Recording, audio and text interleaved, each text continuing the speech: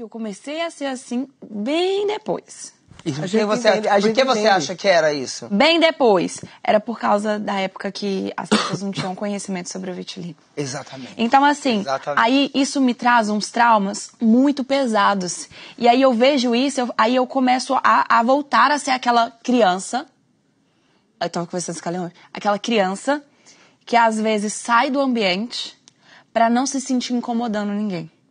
Que às vezes se isola. Se incomoda pra não incomodar ninguém. que às vezes se isola, que às vezes abre mão de ser ela pra poder priorizar o sentimento do outro. E foi o que eu falei com a Aline. Hoje a minha vontade, talvez, era de entrar aqui dentro desse quarto, falar, eu vou dormir, me enfiar debaixo da coberta, mas eu falei, eu não vou ser essa Natália de novo.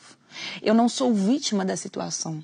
Eu sou a protagonista da minha vida e eu não vou aceitar ninguém tirar o meu lugar e a- o meu protagonismo por pensarem ou por acharem por A mais B, porque são pessoas que nunca tiveram uma troca comigo. São pessoas que nunca pararam aqui. Deixa eu ouvir sua história. Deixa eu te conhecer a fundo. Deixa eu saber quem você é. Deixa eu sentir o seu carinho. Deixa eu sentir o seu afeto. Deixa eu sentir o seu calor.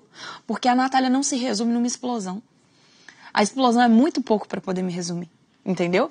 Então, assim, eu falei, eu não quero voltar a ser aquela criança introspectiva e tal para poder, de certa forma, me defender. Não quero. E não estou disposta a pagar esse preço, porque é um preço muito caro. Muito caro, é um preço muito doloroso.